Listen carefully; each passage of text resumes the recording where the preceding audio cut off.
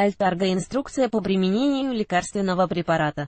Владелец регистрационного удостоверения GlaxoSmithKline Trading АО Россия код ITX D06X 13 активное вещество ритопамулин.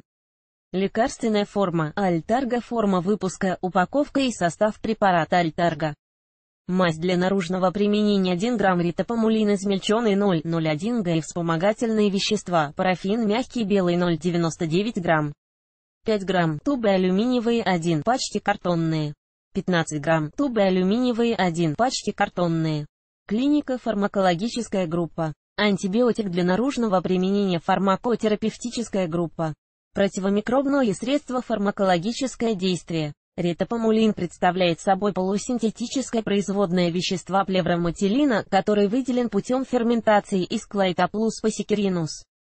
Ретопамулин избирательно ингибирует синтез белка в бактериальной клетке путем взаимодействия с 50 субъединицей рибосомы бактерии.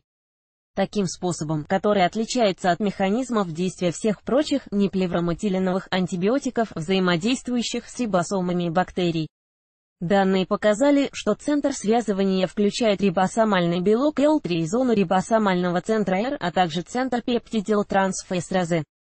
Связываясь с этим центром, плевроматилин ингибирует пептидильный перенос, частично блокирует взаимодействие с центром ЭР и препятствует нормальному образованию активных рибосомальных субъединиц 50С, что приводит к ингибированию синтеза белка бактериальной клеткой. При помощи различных механизмов, в связи с особым механизмом действия перекрестная резистентность ритопамулина иных классов антибиотиков в отношении специфичных Возбудителей по данным исследований инвитро встречалось редко. По данным исследований инвитро и клинических исследований ритопамулин активен в отношении большинства штаммов основных возбудителей. Инфекций кожи и ее придатков стафилококкус ареус и стрептококкус паиогенез. Вместе с тем, в клинических условиях ритопамулин менее эффективен в отношении некоторых метицилалин-резистентных штаммов стафилококкус ареус. Кроме того, препарат обладает активностью инвитро в отношении некоторых иных грамположительных, грамоотрицательных и анаэробных бактерий. Ритопамулин обладает преимущественно бактериостатическим действием в отношении возбудителей С. Ареус и спаиогенез. Ритопамулин инвитро активен в отношении большинства штаммов стафилококкус пайдермидис, стептококкус галакши, стептококкус вириданес, перуплани бакалариумагнос, пептострептококкус аспипий. Привателла SPP, фусобактериум SPP и порфироманность SPP. Резистентность в связи с особым механизмом действия перекрестная резистентность ритопамулина и иных классов антибиотиков в отношении специфичных возбудителей по данным исследований инвитро встречалась редко. Ритопамулин продемонстрировал низкую способность к развитию устойчивости в условиях инвитро. Наибольший показатель минимальной подавляющей концентрации на основании данных последовательного пассажа S. Ареус и спаягенез в присутствии субминимальных подавляющих концентраций СУП МПК ритопамулина составил 2 микрограмма МЛ. В процессе лечения препаратом на протяжении программы клинического исследования развития резистентности к ритопамулину отмечено не было. Показания к применению лечения инфекций кожи и ее придатков, вызванных чувствительными к микроорганизмами, а именно стафилококкус ареуси. Стриптококкус паягенес первичная импетига, вторично инфицированные травматические повреждения, например, небольшие порезы, ссадины, края ушиты раны, вторично инфицированные дерматозы, включая пустулезный псориаз, осложненные атопические контактные дерматиты. Способ применения дозы мазь-альтарга необходимо наносить тонким слоем на пораженный участок кожи два раза в сутки в течение пяти дней. На обработанный участок можно наложить стерильную марлевую повязку.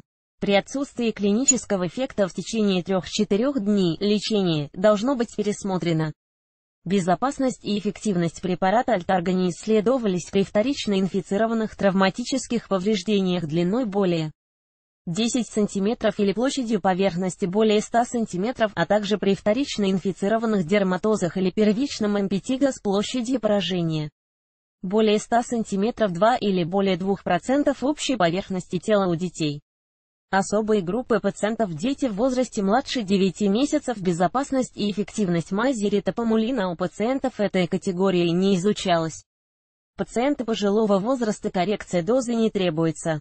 Пациенты с нарушением функций почек коррекция дозы не требуется. Учитывая низкую системку ее абсорбцию ритопамулина после наружного применения препарата, маловероятно, что при нарушении функций почек системная концентрация достигнет уровня клинического значения. Пациенты с нарушением функций печени коррекция дозы не требуется. Учитывая низкую системную абсорбцию ритопамулина после местного применения препарата маловероятно, что при нарушении функций печени системная концентрация достигнет уровня клинического значения. Побочное действие – нежелательное явление, представленное ниже перечисленных в зависимости от анатомофизиологической классификации частоты встречаемости.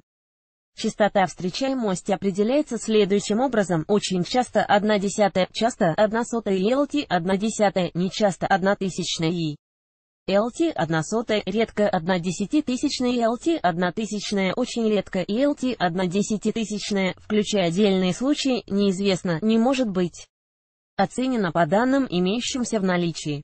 Категории частоты были сформированы на основании клинических исследований препарата и пострегистрационного наблюдения.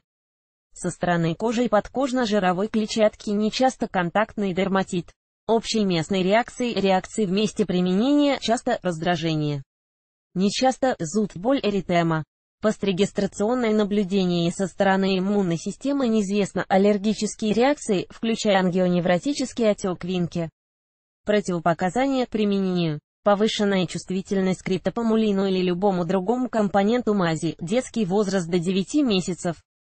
С осторожностью, поскольку ингибиторы изофермента СИВАПИ 3 и 4 могут дополнительно увеличивать системную абсорбцию ритопамулина при совместном использовании ингибиторов изофермента СИВАПИ 3,4 секунды ритопамулином у детей младшего возраста следует соблюдать осторожность.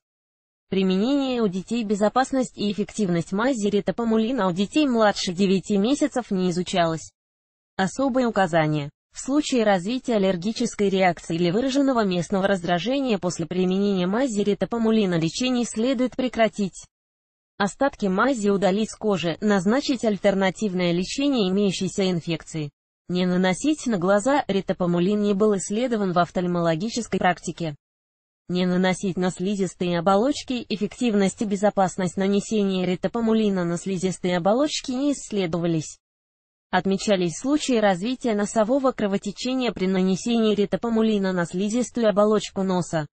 Не принимать внутрь, как и в случае с другими антибиотиками, длительное использование мази ритопамулина может привести к избыточному росту нечувствительных микроорганизмов, включая грибы. Влияние на способность к вождению автотранспорта и управлению механизмами препарат не оказывает влияния на способность управления транспортными средствами и механизмами. Лекарственное взаимодействие. Клинически значимые лекарственные взаимодействия у взрослых неизвестны.